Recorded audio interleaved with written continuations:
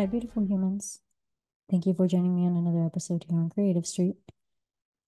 Today's episode is about creativity and death. Um, so before we get into the episode, I want to give a few birthday shout outs. One is myself. I'm turning 30 this year. Woohoo! Um, also, uh, a colleague of mine, um, Dr. Sullivan. Uh, she's also, you know, um, his birthday is coming up as well. And I just want to take a moment to give her a shout out on happy birthday, Aquarius buddy. Um, also a few birthdays um, that are that that have passed. Uh, my cousin um, Patrick is one of them and uh, an old friend of mine, Rob, also was his birthday. Um, and then I have another friend uh, who's coming up as well. So just want to say like shout out to all the Capricorns and Aquariuses. Um, all right, so moving forward, as you can tell, I'm um I have now included me working on an uh an art piece um, for this episode and probably for the episodes where I do solo topics um, moving forward. Um, this painting is inspired by one of my favorite concepts, which is uh, yin and yang. And I think it's befitting of the episode for today because I am talking about one of the um, concepts of yin and yang, which is life and death. It's this uh, dichotomy that exists with creating, which is like breathing life into something, and death, which is like this decay or this transformation of something. And death for me in this episode is literally talking about um, this relationship of creation and um, our need to immortalize. it's one of my favorite subjects on a spiritual level and on a psychological uh, psychological level. I believe that um, our root for creativity stems from our relationship between death and acknowledging that our time on this earth in this realm is limited. Um, our relationship to death it can't like our relationship to death is um it's create like it it created religions and i know that that's going to sound a little controversial but it it created religions. It um it's created a lot of these things and uh, aside from the emotional psychological um anguish that we feel from this acknowledgement of limited time um i think it also it's also helped us create these amazing masterpieces that live on after our passing. Um, like I mentioned, it created a thousand and one religions that exist today and have ever existed. Um, however, to focus on the creative aspect of death, this episode is about the relationship to death and our need for remembrance. Um, this want to be remembered. Uh, we want to think that our lives are not meaningless or not pointless, that our existence is not pointless. Throughout centuries, we have created many works of art um, that some end up transcending time and to the point where it it causes us to even romanticize the past. Um, from cave paintings to architecture to intricate jewelry and elaborate barriers, burials, sorry, I'm a little tongue twisted. Um, there's something innate in our want to be remembered. Um, don't get me wrong. I don't think um, every creative act uh, was done with the intention, with that intention in mind. And I don't think some artists really created works thinking that they would forever be around. Like, I don't think Da Vinci believed that hundreds of years later we would still be discussing like the brilliant artworks because he only made very few artworks. I don't think that he thought that these um, pieces would be around for as long as they have. Um, but I do believe that he knew it would cause a movement. And that's one thing that art and creativity and like our creative acts can do. It's um it it causes a movement within people and with culture within culture and, and technology. Um sorry. And that's really what an artist can do with their craft. Like there's a song, um, there's a song called Carillus uh, by Plughand. And I don't know where he took this quote from. It's one of those typical lo-fi songs where they take like a, a snippet of a movie or like of something and they put like lo-fi music to it. Um, but I really, I really liked this quote um, where this guy says like you have to essentially choose a field um, that you operate at your best capacity, which then serves as an influence to deter all these other things that you're worrying about. Um, in this case, this this man, uh, he he chose music. Um, and he he says that I I take care of music as best that I can with the truest beliefs, then all all the other things that I want to be affected will be affected as I desire to as I desire them to be affected as much as I can affect them. And I think that's what we can do as creatives. Um, we can influence the future, we can influence other lives, we can influence culture, we can influence technology. And there's in this need to be remembered, in this need to like to continue past our time, I think that comes from this acknowledgement of mortality. Um, just to get a little personal, like I don't I've had a lot of uh, things go on with me in my life. And from a very young age, um, I was I was tired of existing. Like I was uh talking in another episode um with one of my with my other co-hosts um for Sugar and Spice and a little advice. And I was I was telling her like I didn't expect to live to 30. Um I I didn't expect when I was a kid, I, I couldn't even fathom living this long. And sometimes I still I sometimes still feel feel that. Not to say that, you know, like I'm depressed or anything. No, like I'm good. I I'm comfortable and I'm happy with the life that I have. But that's not to say that wasn't that wasn't my mentality forever. Um, when I was a kid, I, I actually I I was so I was so tired. Uh, and I mind you, and I had only lived 14 years at that. And I was just I was so tired of everything. And I remember when I was growing up, um, I was taught about like the concept of heaven and also in my religion, like we we believe like in spirits. So like when you pass away, you not necessarily go to heaven, but you can also stay in this like limbo world and you become one of the spirits. Um, and and you can get reincarnated and everything. And I was like, that sounds terrible. like it's so much work to live.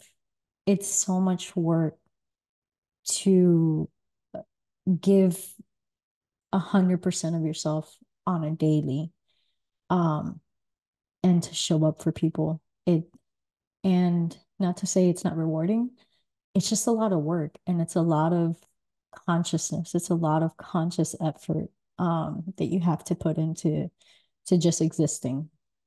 And that's not even bringing into all the social constructs we've created for ourselves of work and having to live in a box and pay for your box and pay for food and pay so that you're just not in the rain and you can eat and you have a place to sleep. Like that's so much. So I thought to myself, like, what if, what if that really is death? Like, oh Lord, I don't, I don't know if I want to go continue going through the cycle. Um, obviously there's no way of escaping either one. Like you either live or you die. There's, I don't think there's like that in between. But um, I thought to myself, well, since we technically don't really know what death is, right? Why can't death just be this calming, relaxing space where you can just forever float in this abyss of darkness? And and I'm I I'm a very um I'm very what's that called? Um I'm an extrovert. Um when I'm comfortable and when I'm around people and I feel like it's the right environment. But I'd say that I'm I'm a I'm a big introvert. Like I love overthinking and not overthinking on like minor things, but overthinking on like the abstracts, the things that it's like you can have as many theories as you want, you're never gonna solve them. I love those questions. I love thinking of the abstract. And so to me, death was floating in this black, dark abyss where all I get to do is explore those abstract concepts, like abstract concepts and and just have all the time in the world of peace and solitude and and time.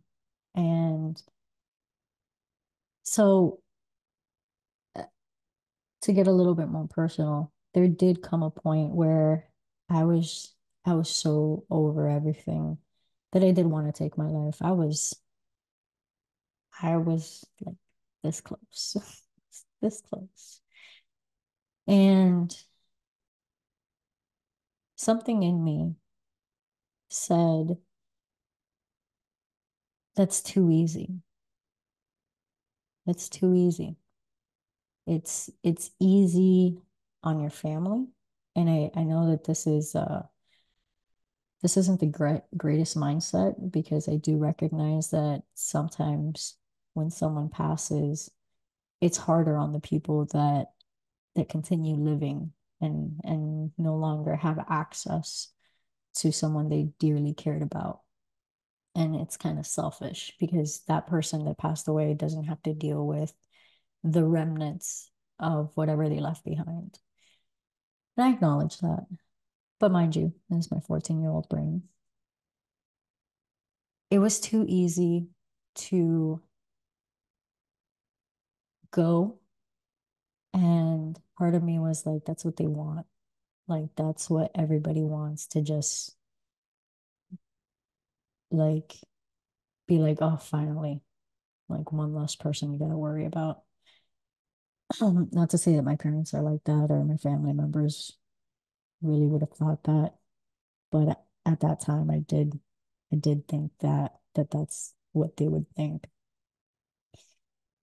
And and I also called myself a coward. I I recognized that like Emil Cioran says, death is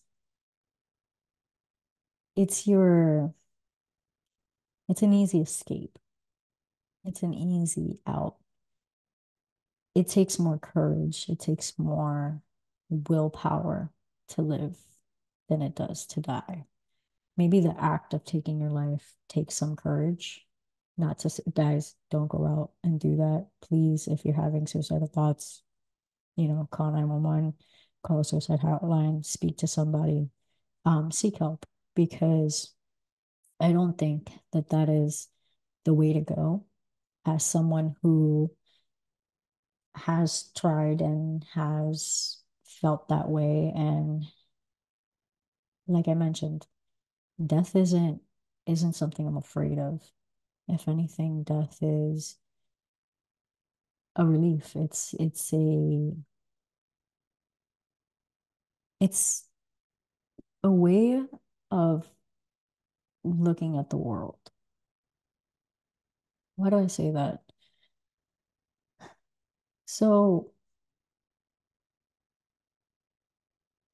die, dying is like a reset button. Whatever whatever your thoughts on the afterlife is, it's it's a reset button.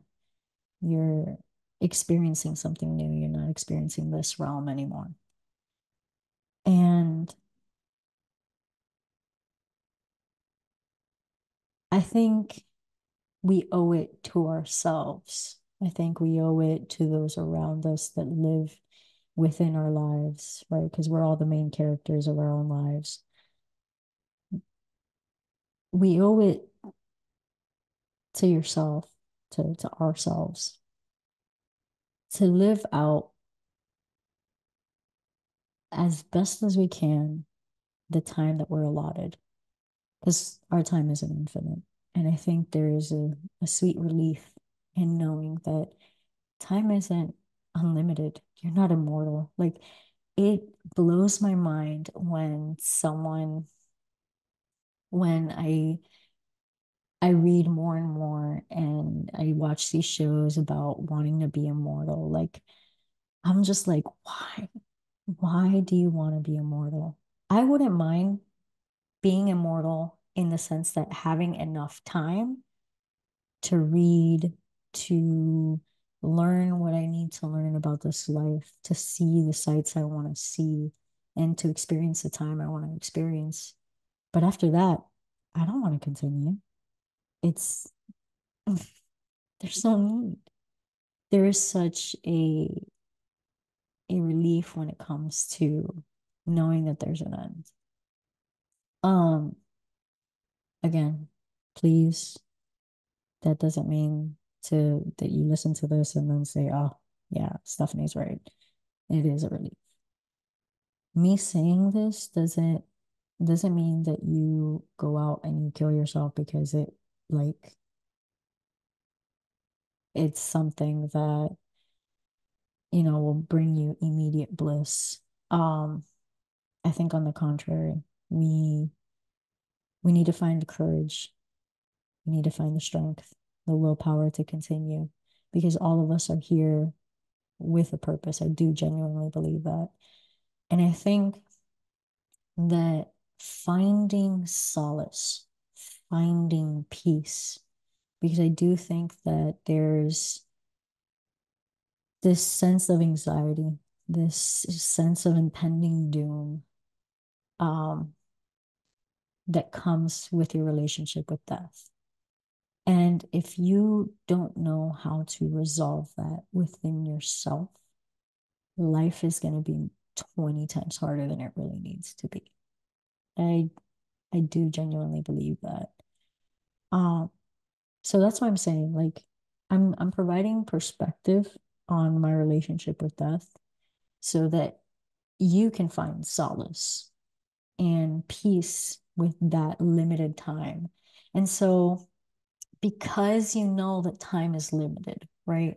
The psychology of death is very is very intricate and it's it's fascinating because once you've resolved that inner inner feeling, that inner doom, that anxiety that any moment this reality can end, you start to value your time more. You start to value the time that you have with your loved ones. You start to value the the time that you give yourself for your own inner reflections for your own tutelage for your creative acts. Those, those are the biggest ones.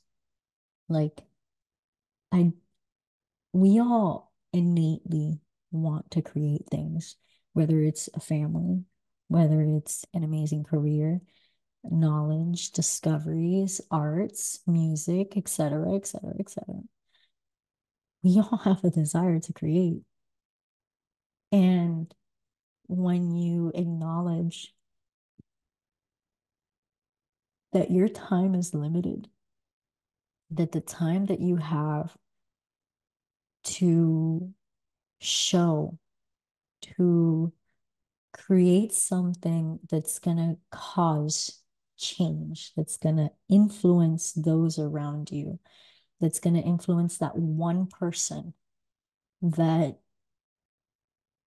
you create inspiration for, that you can cause motivation for, that you can you can impact people. We impact people all the time, whether it's positive or negative. We impact people at all times. You impact your loved ones, you impact yourself, you impact the world around you. And so, like I mentioned, when you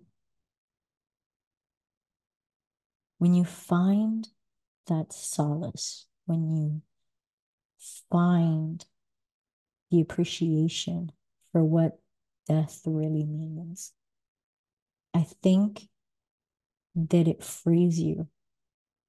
It frees you and it allows you to feel deeper. It allows you to connect with things at a deeper level because you know that these moments are ever fleeting, that this time is forever limited. And that's very powerful. That's that's a very powerful feeling. And when you know that you're influencing at all moments, you will want to create a positive. You you you won't care about the little things. You won't care that somebody honked the horn behind you because you didn't move fast enough. If anything, like in those moments, how sad, how sad that this person doesn't realize that this is a wasted moment. This is a moment that doesn't impact, it doesn't create value, create value for ourselves. It doesn't create value for others. And that's what creating can do. Creating creates value within the culture, creates transformations, technology, social, cultural, linguistic, just imagination. The more you influence people, the more you'll see this world become meaningful to you. It will give you a purpose in life. And I think that's the main point that I wanted to get here. Understanding that death and life are one and the same. They are two sides of the same coin.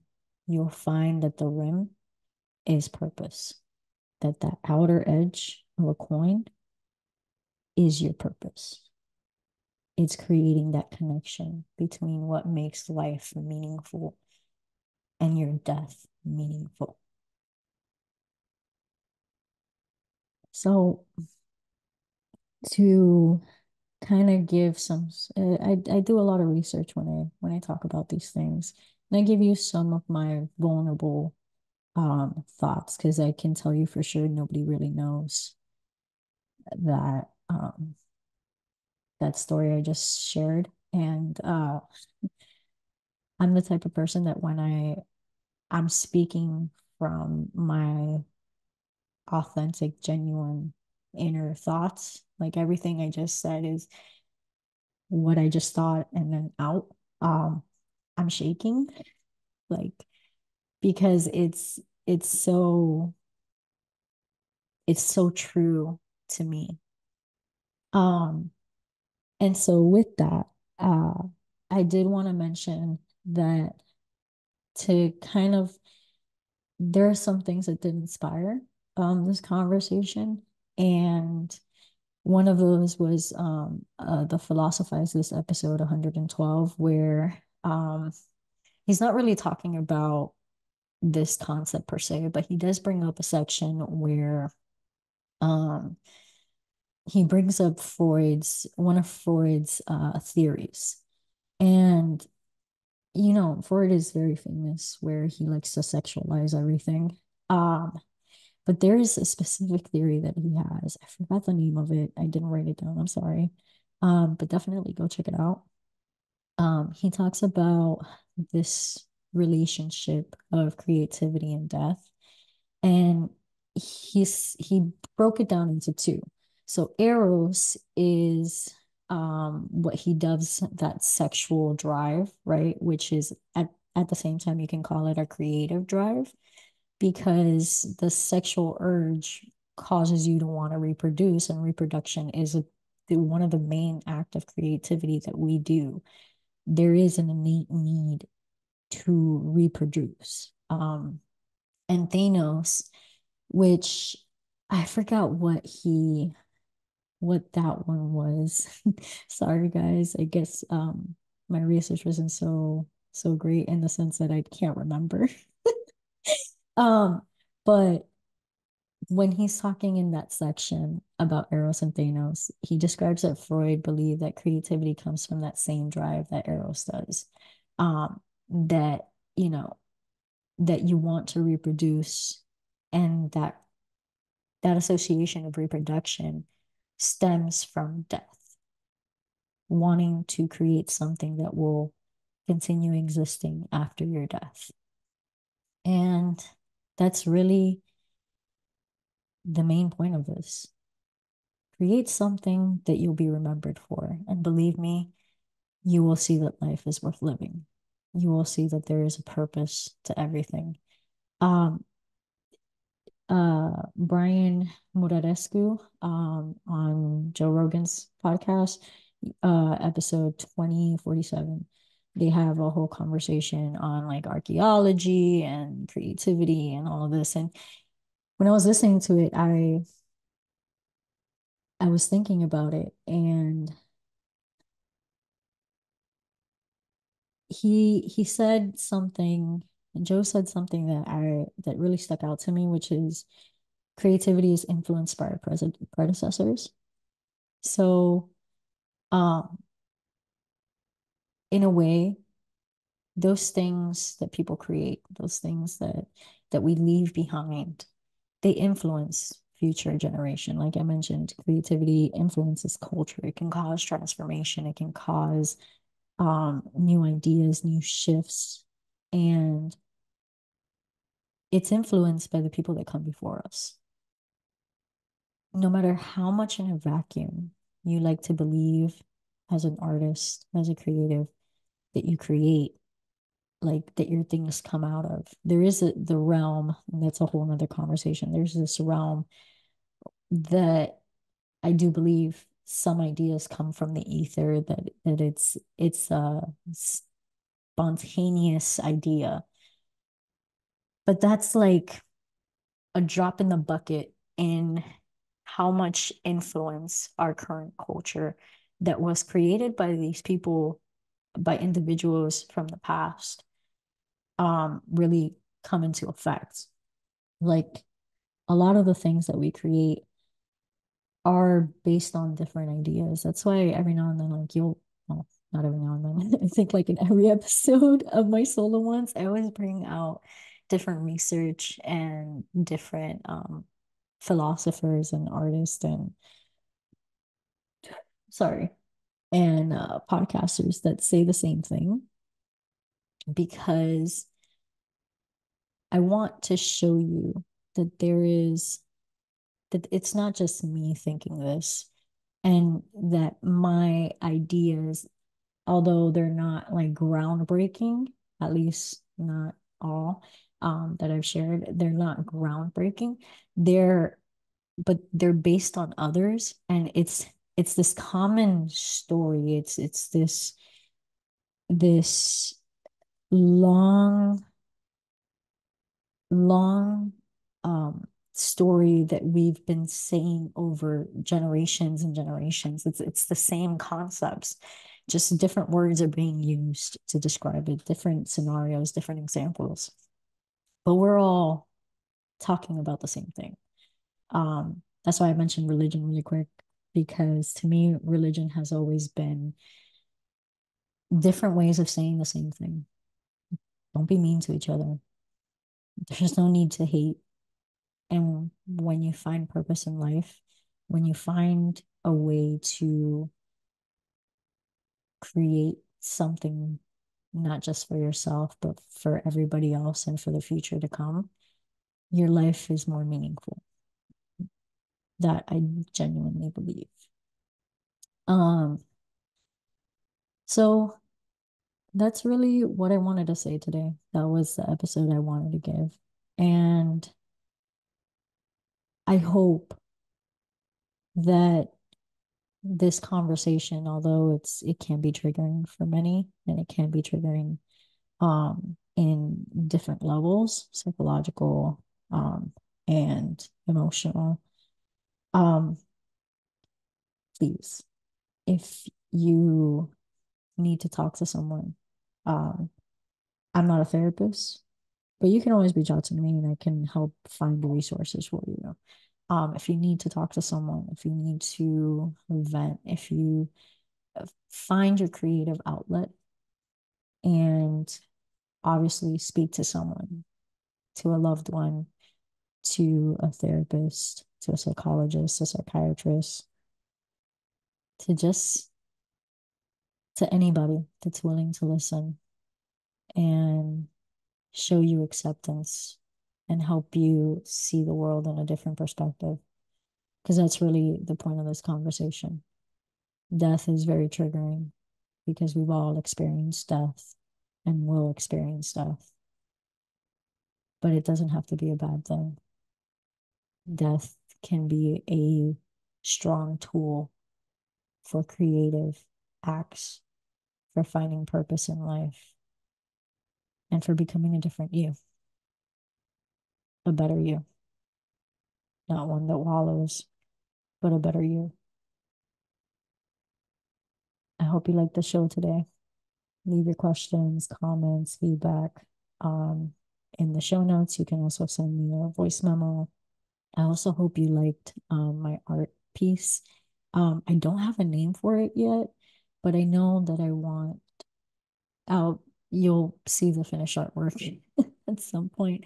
Um, and I guess we can pick a name together if you're interested in, in doing something like that. Um, but yeah, thank you again for tuning in. Um, I hope you catch me again next week. Uh, next week, I believe I have um Shubi um coming up, and Shubi is a life coach. Um, we had a really fun conversation, so stu uh like stay tuned to next week. Um, and yeah, thank you guys. I hope you have an amazing Wednesday.